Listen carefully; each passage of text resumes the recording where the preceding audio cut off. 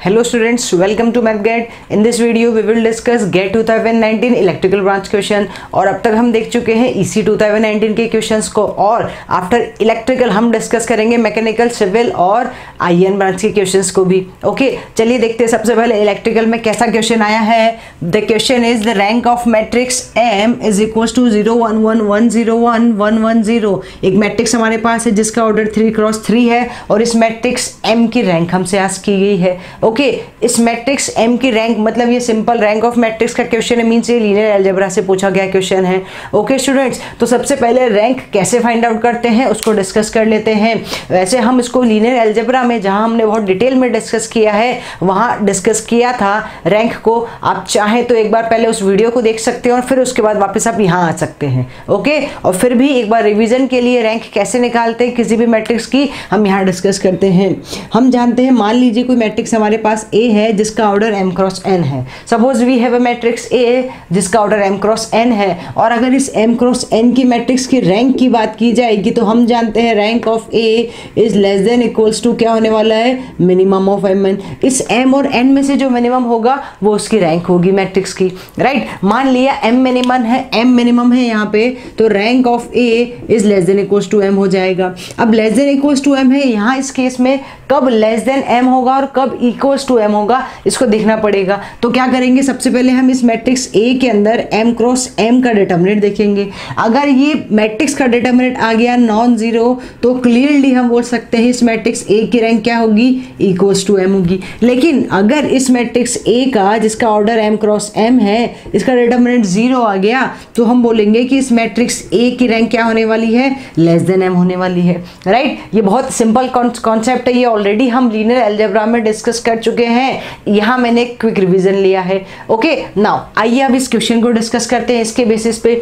तो सबसे पहले बात करें इस क्वेश्चन की। मैट्रिक्स का ऑर्डर मुझे गिवन है three cross three three cross three है मतलब जब, जैसे ही आपको ये बात समझ में आई रैंक निकालना है। इसका मतलब क्लियरली आपको समझ आना चाहिए कि आपको इस मैट्रिक्स का डिटर्मिनेंट निकालना है राइट अब डिटर्मिनेंट निकालने के यहाँ पे बहुत सारे ऑप्शन हो सकते हैं या बहुत सारे मेथड्स हो सकते हैं। तो सबसे पहले जो डिटर्मिनेंट निकालना है, ये थ्री क्रॉस थ्री की मैट्रिक्स है। हम जानते हैं डिटर्मिनेंट निकालना थ्री क्रॉस थ्री की मैट्रिक्स का बहुत ही ईजी होता है। तो कैसे निकाल सकते हैं? डायरेक्ट निकाल सकते हैं हम इस ज़ीरो के रेस्पेक्ट में अगर मैंने किया तो zero into something that is zero और फिर यहाँ होने वाला है माइनस वन इस माइनस वन के रेस्पेक्ट में करेंगे। जब माइनस वन के रेस्पेक्ट में करेंगे तो माइनस वन वाले रो और कॉलम को छोड़ देंगे तो आपको मिलने वाला है यहाँ से क्या? ज़ीरो माइनस वन ओके और देन इस प्लस वन के रेस्पेक्ट में करेंगे तो प्लस वन के रेस्पेक्ट में इस प्लस वन वाले रो और कॉलम को छोड़ देंगे तो मिलने वाला है आपको यहाँ से क्या वापस? One minus zero that is equal to what students plus one and plus one that is equal to two which is clearly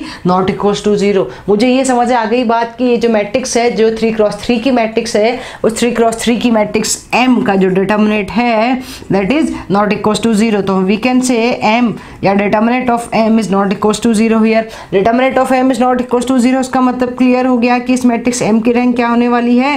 three होने वाली मैट्रिक्स एम की रैंक क्या होगी स्टूडेंट्स यहाँ से? थ्री होगी। कैसे? और आप समझ सकते हैं, क्योंकि अभी अभी हमने ये बात समझी है कि अगर डिटर्मिनेट हमारे पास में जिस किसी भी मैट्रिक्स की हम बात कर रहे हैं, उस मैट्रिक्स का डिटर्मिनेट अगर नॉन ज़ीरो आता है तो रैंक क्या होगी? इक्वल्स टू दैट नंबर होगी। अगर यहाँ पे थ्री क्रॉस थ्री की मैट्रिक्स की बात कर रहे हैं और अगर इस थ्री क्रॉस थ्री की मैट्रिक्स का डिटर्मिनेट नॉन ज़ीरो आ जाए तो रैंक क्या होगी? इक्वल्स टू थ्री होगी। क्योंकि यहाँ पे मैक्सिमम जो आ रहा है ऑर्डर थ्री क्रॉस थ्री है और रैंक भी मैक्सिमम मुझे थ्री मिल रही है। इसका मतलब ये जो मैट्रिक्स है, इस मैट्रिक्स की रैंक कैसी हो गई? फुल रैंक हो गई। ओके तो इस क्वेश्चन का आंसर हमारे लिए हो जाएगा थ्री ये तो मैंने बताया आपको फ़र्स्ट मेथड से डिटर्मिनेट निकालना। नाउ अगर आप चाहें तो आप एक और तरीके से या एक और मेथड से इस मैट्रिक्स का डिटर्मिनेट निकाल सकते हैं। कैसे? बेसिक ट्रांसफॉर्मेशन की हेल्प से बेसिक ट्रांसफॉर्मेशन की हेल्प से क्या कर सकते हैं हम? हम सबसे पहले फ़र्स्ट और सेकंड रो को इंटरचेंज कर सकते हैं। या इस, इस केस में स्टूडेंट्स तो determinant of M is equal to अगर मैं फ़र्स्ट और सेकंड को इंटरचेंज करूँ तो बनेगा वन ज़ीरो ज़ीरो